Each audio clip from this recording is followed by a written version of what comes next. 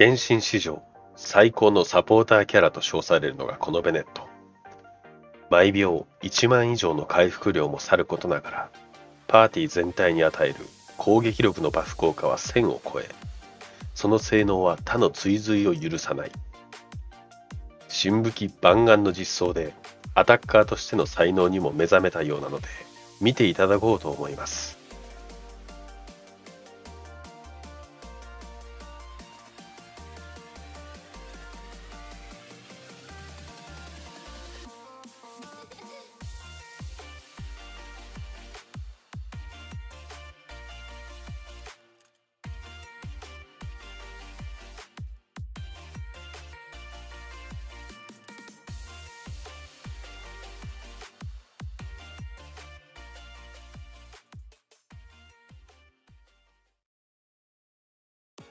ヨーブラザー、しらせゴールドチャンネルでは、原神好きなあなたのために最高のコンテンツをお届けしていきます。動画をお楽しみいただけましたら、チャンネル登録と高評価をお願いいたします。後悔はさせません。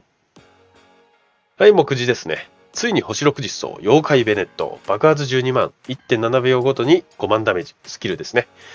で、今日説明していくのはこの4項目なんですが、まず1つ目。バフ数値説明。これ、爆発のバフの説明をしていきたいと思います。まあ、武器ごとに軽く説明していきますね。それで、かなり大事なところで、数値も気になるところだと思いますので、紹介していきます。で、2番、火力ぶりおすすめ武器の万眼ケチエン。簡易的に楽しめる代替武器の方も紹介していきます。で、3番目、生物の組み方。4番目、パーティー構成ですね。まあ、こういった形で紹介していきますので、ぜひぜひ最後までご視聴の方よろしくお願いします。まずはバフの数値解説ですね。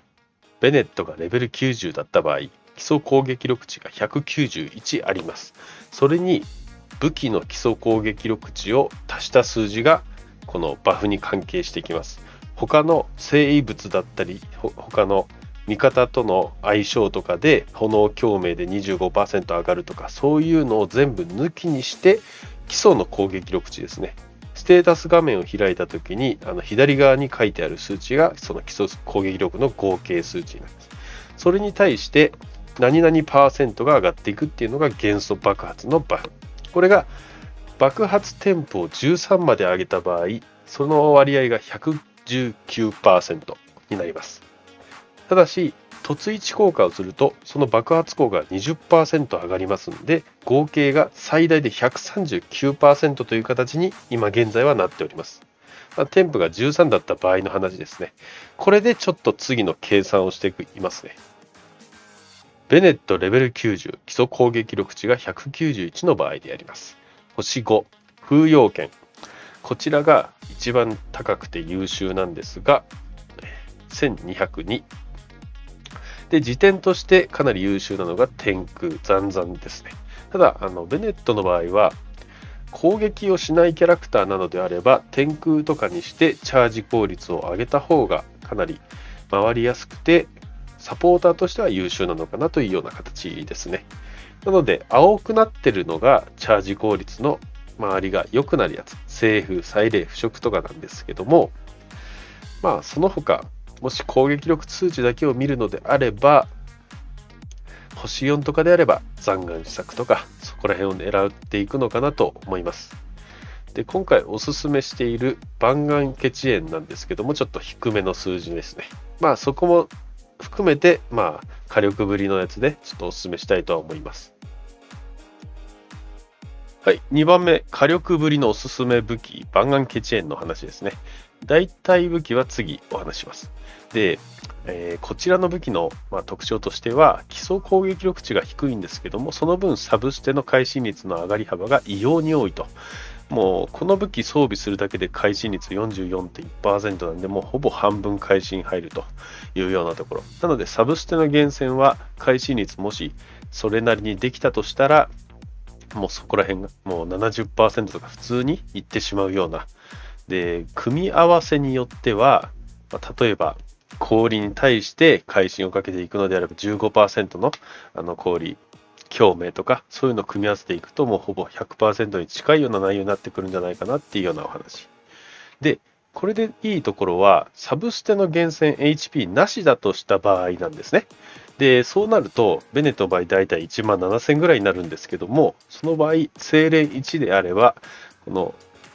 能力上攻撃力244アップします。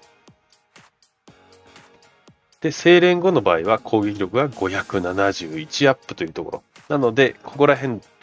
まあ、200、まあ、ちょっとですね、227とか、それぐらい。それぐらいの違いの攻撃力の差が出るっていうところで、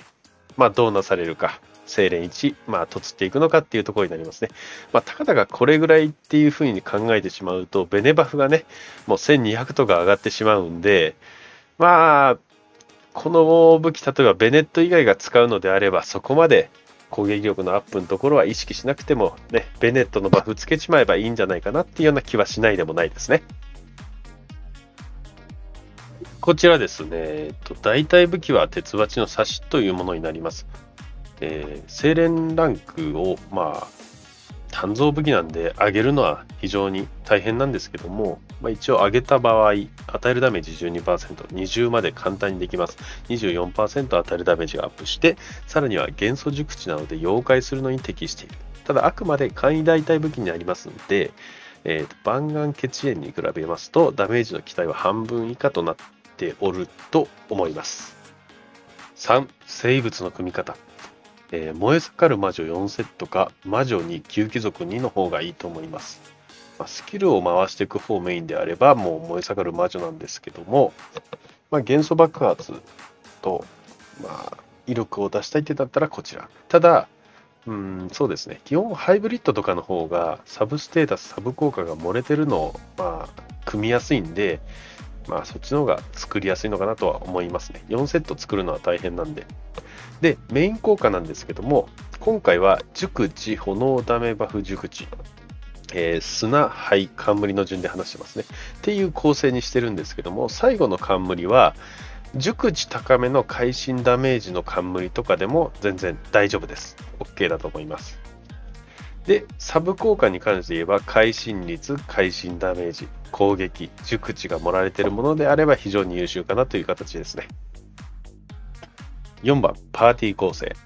主人公ベネットに対してどういうパーティー入れていくかってとこですね。まあ、注意点もいろいろあるんですけども、超運入れていきます。超運入れる場合は、まあ、相手のスキルのの回転が速くなります。なので、本当は2秒で回るベネットのスキル攻撃が1.7秒で回るようになるっていうところと、氷付与できるんで、まあ、ベネット自発的に、まあ、妖怪をかけていくことができるっていうことですね。で、あとは、まあ、ディオナ入れることに対しては、まあ、バリアを張ったり元素熟知や上げる、その6凸で元素熟知上げる効果のあるものをやって、妖怪の威力をさらに上げていくっていうところ、ここを狙っていく感じですね。で、氷共鳴になりますんで、この2人入れれば、開始率がもうほぼ100%近いような内容になって、まあ、ベネットの火力が上がるというところです。で、次が勝利とアルベドのコンビですね。まあ、アルベドの花を置いておけば、ベネットが攻撃して、そのシールドを回収することができるんで、結構タフい状態でずっと殴り続けることができる。で、勝利もあのシールドを貼りますんで、基本的に防御力が高い状態。で、岩共鳴、攻撃力がアップしますし、相手の勝利の、えー、転生シールドで耐性も下がって威力が上がります。あとはアルベドの突り具合とかではさらに火力が上がるって感じですね。で、非共鳴で使うのは、まあ、クレイですね。まあ、竜殺しと共感使ったクレイでやって、さらに熟知上げたり、攻撃力を上げるっていう方法をとってもいいし、クレイ入れて普通にダブルアタッカー編成にして遊ぶのもいいと思います。で、もう一つのダブルアタッカー候補で関羽ですね。まあ、氷の関羽なんで、まあ、例えば超雲、関羽、ベネット、クレイみたいな感じでやればダブルアタッカーで安定するんじゃないかなっていうような感じ格ですね。まあ、こういった形でかなり合うキャラクターも多いので、ぜひね、試してみていただければと思います。ま、もちろん、ベネット回復も自分でできるキャラクターなので、そんなにあの安定感はあの火力ブリブリみたいな感じとかではないと思います。安定感ある状態で戦えると思います。もしそこで、うん、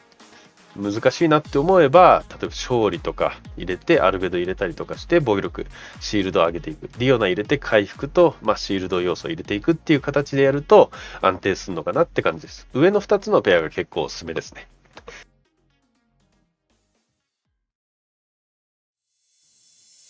最後までご視聴ありがとうございました。動画をお楽しみいただけましたら、高評価、そしてチャンネル登録の方をお願いいたします。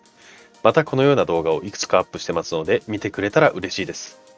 ではまた次回の動画で会いましょう。グッバイブラザー